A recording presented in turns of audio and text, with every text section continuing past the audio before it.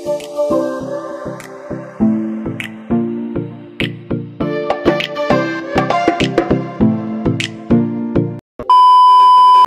guys! So welcome back to my channel. So today I will be doing the DIY hair transformation or DIY dye your hair.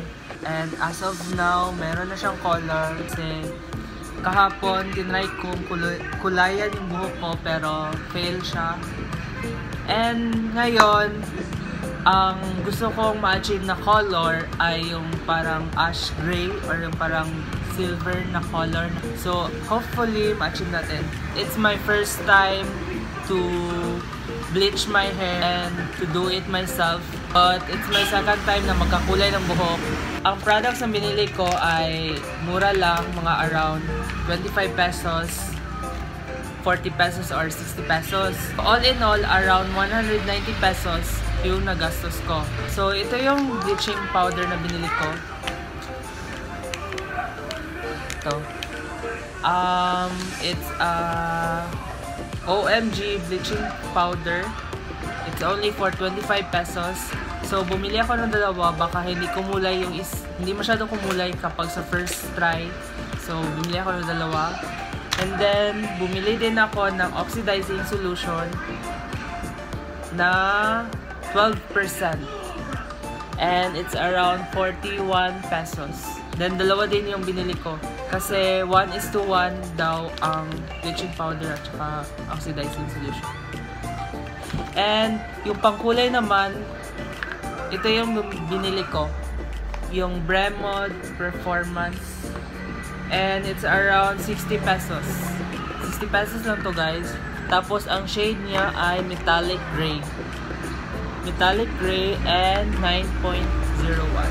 So, hopefully, kulay to at mag-work. Pero as of now, merong kulay yung buhok ko, parang ash brown. Yeah. Kita niyo ba guys? Ash brown. Without further ado, let's jump into the video. Thank you.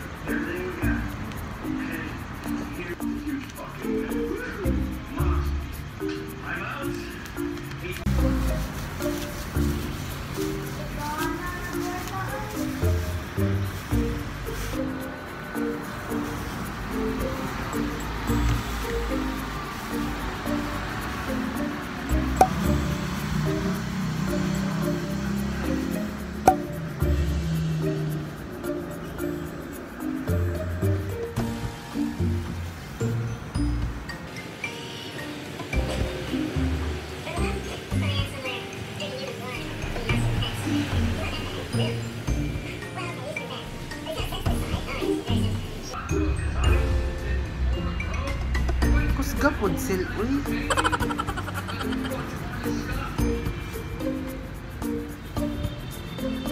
Kana.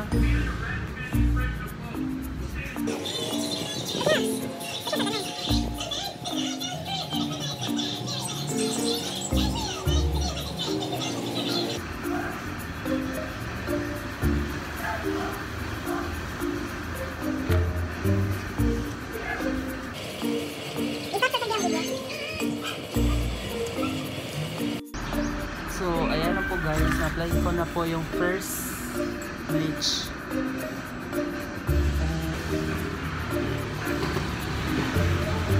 So, after ilang minutes guys, ito na po yun. Medyo nakikita ko na po yung kulay niya. May pagka golden brown na po dito ng side. So, I'll be right back. Guys, hindi ko gusto ang pagayalo niya. So, mag-apply ako. Uy, alis ka muna. So, hindi ko gusto yung pagkakulay niya, yung pagayalo. So, apply ko muna yung...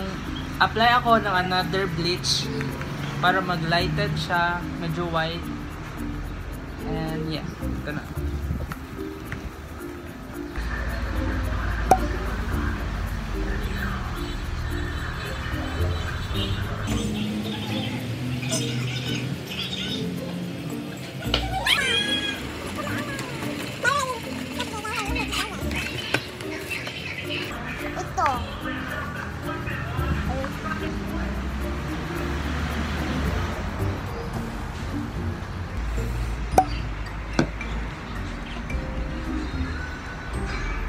Hi guys, so as of now, ito po yung kulay niya.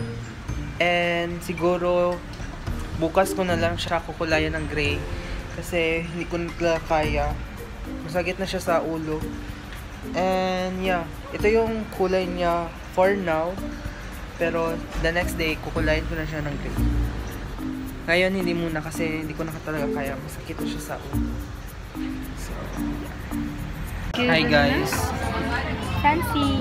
So, currently, ang update, nakatago po yung buhok natin kasi, kasi, kasi, pangit. So, kain lang po kami dito sa Philippines.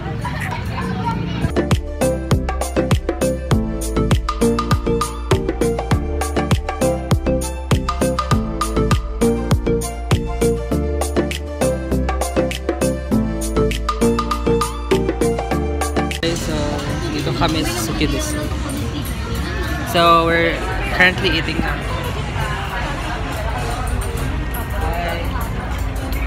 That's Bella.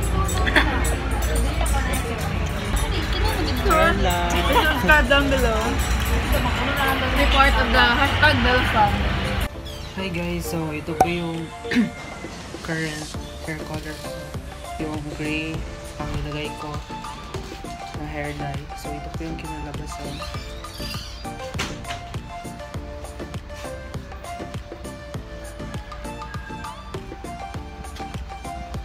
Okay, so first time ko pong lumabas ang itong buhok.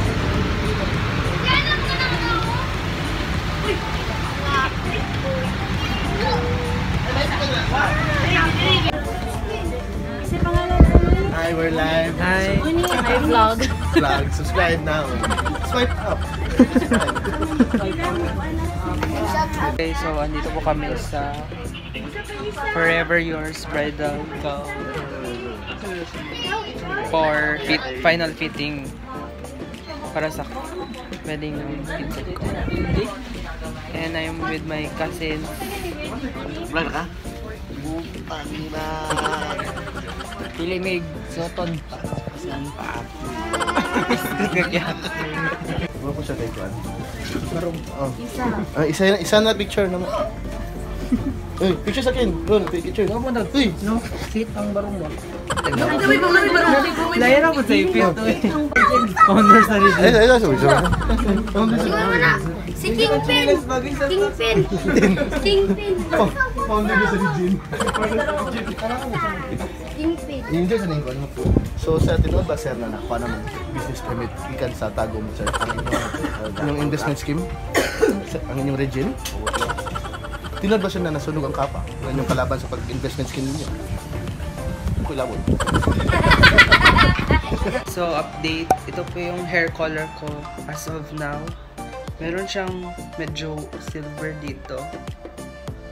Or grayish. So, I end up having a black hair color. Sobrang white na yung yung color ng hair ko kahapon. So, nilagyan ko na lang din siya ng black na hair color para hindi masyado light yung pag-gray. Meron man din siyang gray na shade, pero kapag masilawan lang siya guys, kita niyo. So, yeah, medyo fail yung hair transformation natin, pero I'm still happy. So, I guess that's all for today's video. I hope you enjoy it kahit fail yung transformation ng hair ko. Subscribe and comment down below what do you guys want to see in my future video. Don't forget to click the bell button so that you will be notified whenever I post a new video. See you guys on my next one. Bye!